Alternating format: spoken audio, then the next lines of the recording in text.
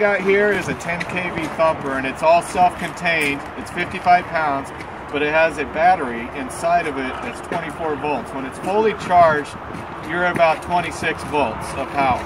And so it's a lead acid battery. It's all right to go ahead and leave it plugged in. There's a little regulator there that will uh, keep it uh, fresh, I guess. Uh, but um, uh, the uh, battery itself will last about, if it's a good new battery, will last maybe an hour's worth of cycle thumping. Really, this unit's pretty simple to run, and it only takes you five minutes to usually find a fault. Usually, every circumstance is different. Uh, but um, I'm going to kind of go over everything here. There are some safety precautions with this. Uh, there has been some hazards with it in the past where uh, people have got shocked off of it, um, just screwing around. Uh, it is 10 kV, so you want to make sure you're wearing your protective gloves when you're using it when you're doing some uh, training like this, we make sure that we get the side that's popping uh, away from us. Uh, and so if you want to go ahead and put it on a blanket when you're out there in the field, that helps as well. Anything to help insulate yourself from the conductor. So the unit does three tests. It will give you footage to the fault, which is HD, HD TDR, HV TDR, sorry, it's cold out here. And then cycle thump mode is your second one. Um, that will give you a thump at the fault, so you can go listen for it. And then high pot mode. High pot mode you can use to see if the cable's good or bad. See if it will hold all 10,000 volts or not.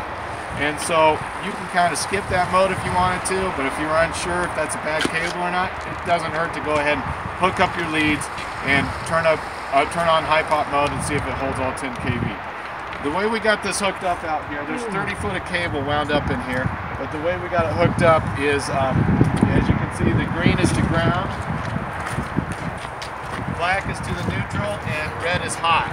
And on this one here, we're just putting the neutral and the, and the, and the ground together because we're just uh, um, using the spool wire, wire as an example. But if you're hooking up inside of a transformer, you would probably uh, put your probe in and hook up to the probe with your red lead, hook up to the neutral, and then hook the ground up to uh, usually the ground rod that's in there, or a separate ground rod off to the side. And the ground is only used, there is no energy really going down the ground side, it's just used to disperse off any energy that's left in the machine. So when you hit stop ground, it has somewhere to go. So make sure you get that hooked up. Now when you go to stop your whole test, you want to make sure that you stop ground it, you turn the unit off, and then I usually will clip all three of those together after I know everything's off, clip them together before I start to wind everything up. And once it's wound back up in here, you can go ahead and clip it on this bar here so they're all clipped together as well. There is a little safety precaution right here. If you forget to turn the unit off, it will push up against that button right there and turn the unit off. And so there's a lot of little safety things on this unit including um, some extra venting holes to vent out any battery gases that are inside there. And then also a return to zero voltage. That means you can't start any test unless you always return the output back to zero.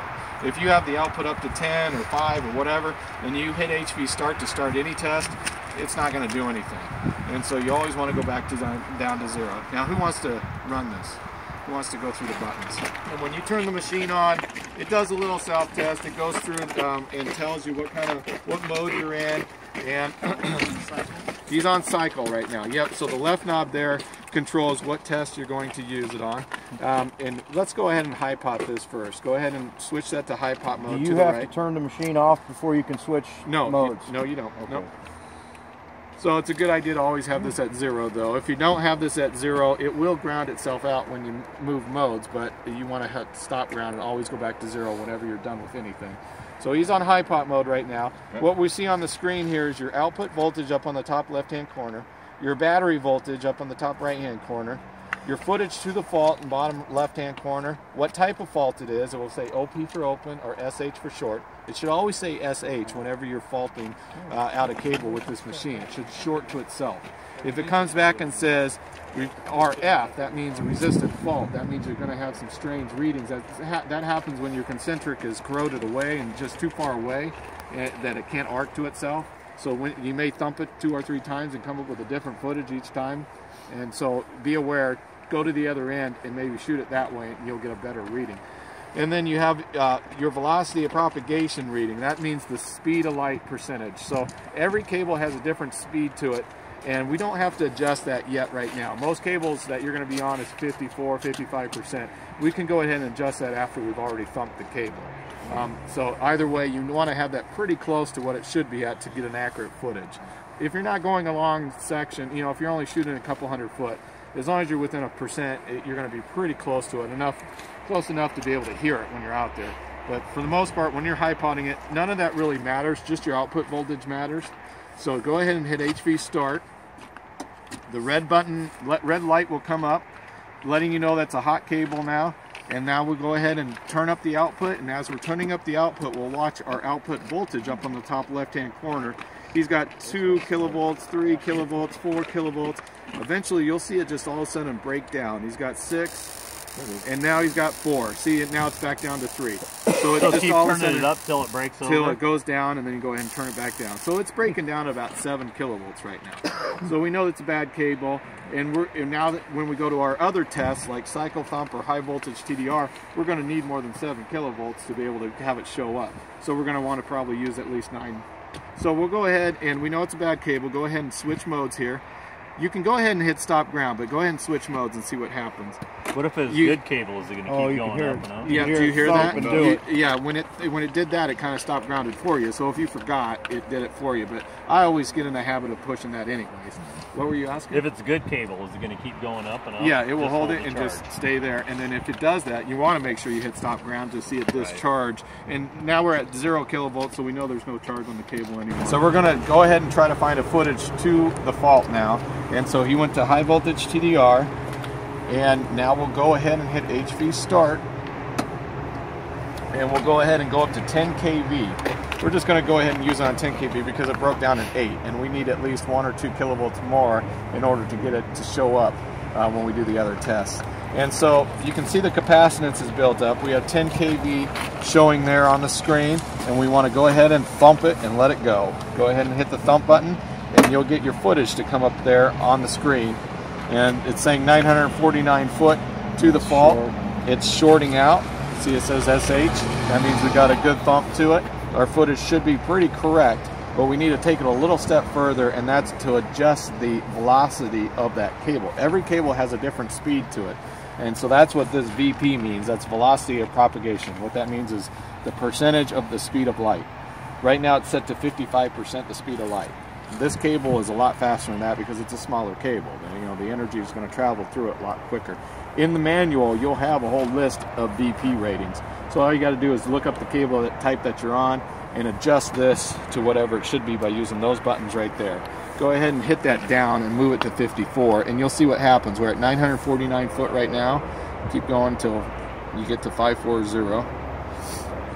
And now we are at 932 feet. So it wasn't that much of a difference, but you know, it will make a difference if you're the one out there trying to hear that fault when you go to cycle thump mode. So you want to try to get as close to that fault as possible too. So somewhere we have a chart that says this size cable should be this. Should be at this. Yep. You should write it. Yeah, you normally are always you're always yeah. on the same two or three cables. So if you just figure those out and just write them over to the right here, that's what most people do. Or they laminate it like this and it's in there, but you don't have it in this machine for some reason. But anyway, um, if you forget how to do that, you forget to do that, it's not a big deal. It's still going to get you close, especially if your fault's only 100 or 200 foot away. You're going to get pretty close as long as you're staying around 54 or 55%. That's normally where your cables are going to be at. So um, now that we found the footage to the fault, we are going to have somebody walk out there and listen for the cycle thumping. So go ahead and switch it over to cycle thump mode. I don't have to wind anything down. You don't. You can go ahead and hit stop ground. Go ahead and get used to that. Stop ground. You can see it's at zero. Go ahead and return it back to zero. There we go. Yep, you hear how it clicked when you yeah. when you uh, went to cycle thump. Go ahead and hit HV start now. Again, if I'm going to hit stop ground real quick, I want to show you something. See, if he had this up to two or whatever, if he hit stop ground now, it's not going to do nothing. So you just return it to zero, hit stop or start.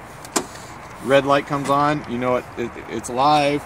Go ahead and turn it up And normally we, we'll go ahead and just turn it to 10 kV because that will give you a good pop. And then when that capacitance builds up and matches that 10 kV reading, you can hear it popping back there. So there it goes again, and it should pop. There you go.